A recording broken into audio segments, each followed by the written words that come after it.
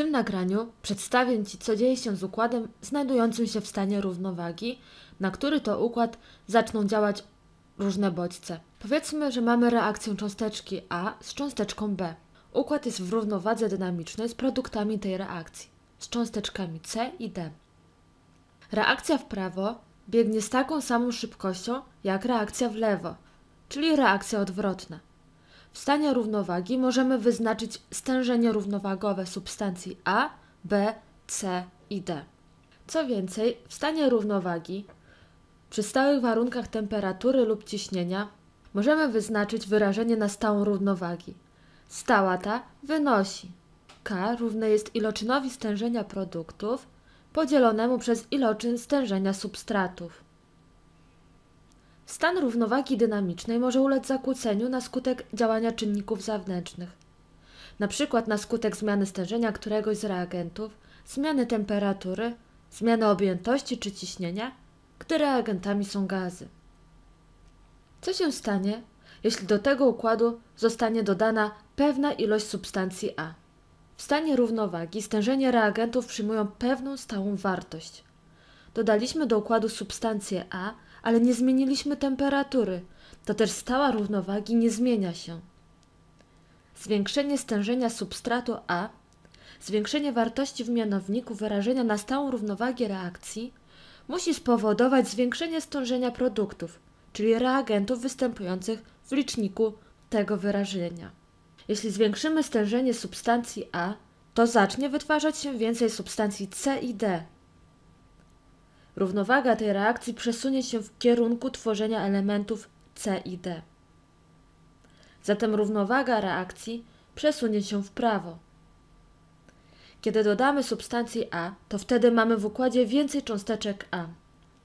Prawdopodobieństwo efektywnego zderzenia cząsteczek A z cząsteczkami B wzrasta, a co za tym idzie, wzrasta stężenie produktów powstałych w wyniku tego zderzenia. Reakcja w prawo zaczyna biec szybciej niż reakcja w lewo. Po chwili zaczyna się zwiększać stężenie substratów C i D, więc możliwe, że one też będą się teraz częściej efektywnie zderzać i przyspieszy się reakcja w lewą stronę. W efekcie końcowym zostanie osiągnięty jakiś nowy stan równowagi. A i B wyprodukują więcej C i D. I te dwie reakcje dojdą do nowego stanu równowagi. Stała równowagi nie ulega zmianie. Zmieniły się jedynie stężenia poszczególnych reagentów. Jeśli dodasz B, zajście reakcji biegnącej w prawą stronę będzie jeszcze bardziej prawdopodobne.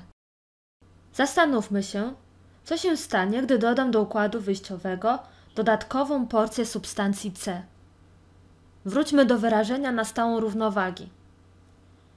Chciałabym Ci przypomnieć, że to wyrażenie czasem może wyglądać inaczej, ponieważ jeżeli mamy inne współczynniki stechiometryczne w równaniu reakcji niż współczynniki wynoszące 1, wtedy te współczynniki stechiometryczne zamieszczamy w potęgach w wyrażeniu na stałą równowagę reakcji. Zwiększyłam stężenie substancji C. Nie zmieniłam temperatury.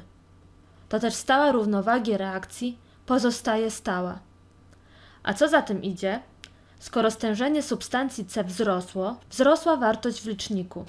To aby wynik dzielenia był stały, musi wzrosnąć również wartość wyrażenia w mianowniku. Wzrosło stężenie substratów reakcji biegnącej w prawo. Równowaga reakcji przesunęła się w kierunku lewym.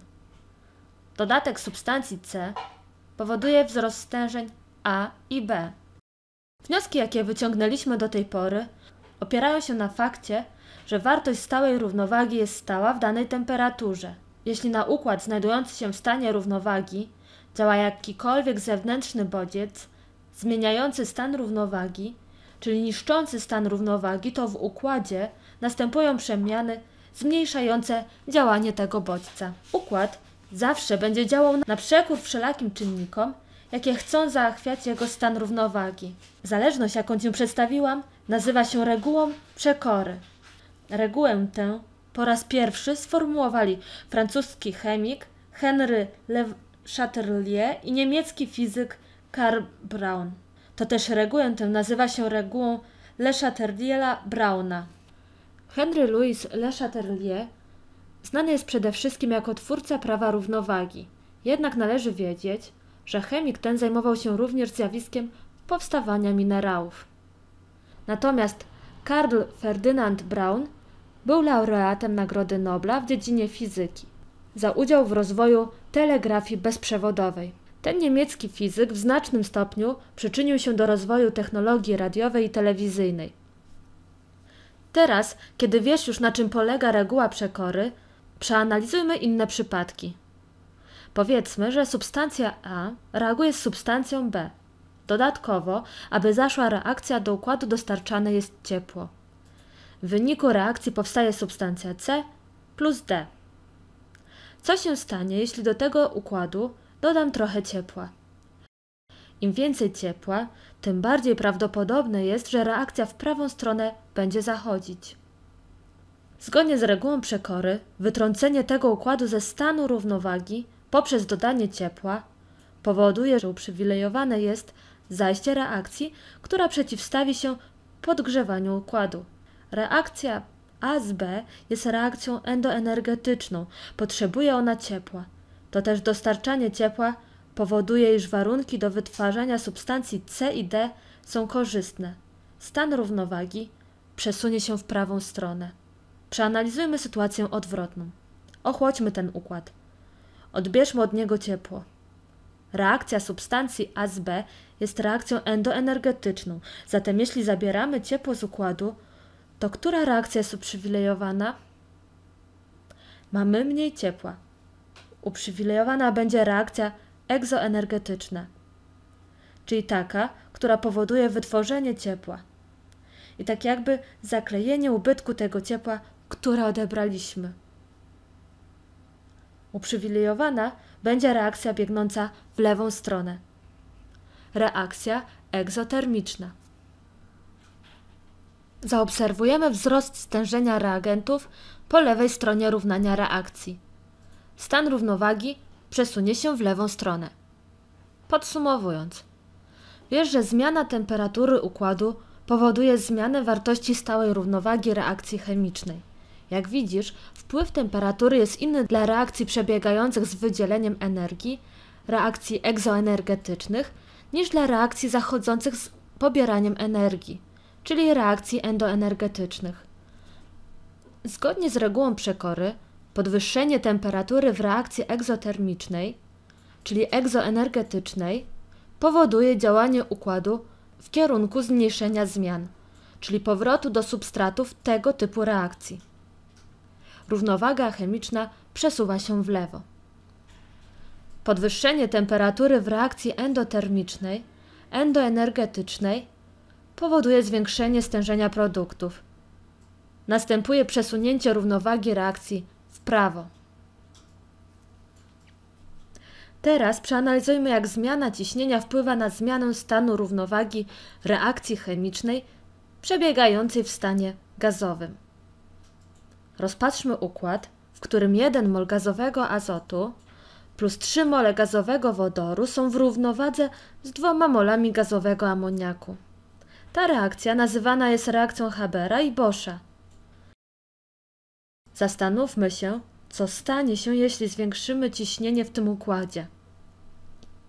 Kiedy zwiększymy ciśnienie, wszystko nagle robi się ściśnięte. Zmniejsza się objętość układu. Reguła Le Chatelier mówi, że cokolwiek się dzieje, układ zawsze dąży do zachowania stanu równowagi. Reakcja tutaj zajdzie w takim kierunku, który zapobiegnie wzrostowi ciśnienia. Załóżmy, że mam zbiornik. Mam zbiornik i zwiększam w nim ciśnienie. Zwróć uwagę, że po stronie substratów masz do czynienia z trzema molami plus 1 mol, czyli z czterema molami gazu. Natomiast po stronie produktów masz do czynienia z dwoma molami gazu. W przypadku produktów mamy do czynienia z mniejszą ilością moli gazu. Kiedy podwyższymy ciśnienie, automatycznie zmniejszamy objętość układu. Układ będzie chciał znajdować się w stanie, w którym będzie mu luźniej, w którym cząsteczki gazu zajmą mniejszą objętość.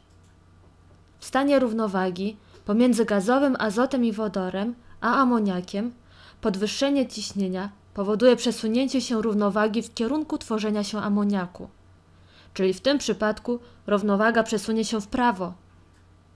Zacznie się wytwarzać więcej amoniaku, ponieważ osłabia to skutek działania czynnika zewnętrznego, czyli zwiększenia ciśnienia. Jeśli reakcja chemiczna przebiega ze zmniejszeniem objętości, to zwiększenie ciśnienia przesuwa równowagę reakcji w kierunku tworzenia produktów takiej reakcji, czyli w prawo.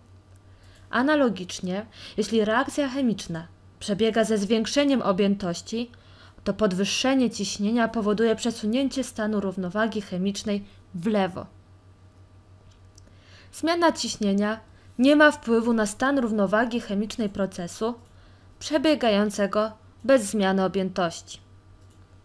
Na przykład, jeśli masz 1 mol substancji A o gazowym stanie skupienia i 1 mol substancji B o gazowym stanie skupienia i te dwa mole substratów pozostają w równowadze z dwoma molami substancji C, oczywiście o gazowym stanie skupienia, to zmiana ciśnienia nie zmienia położenia stanu równowagi.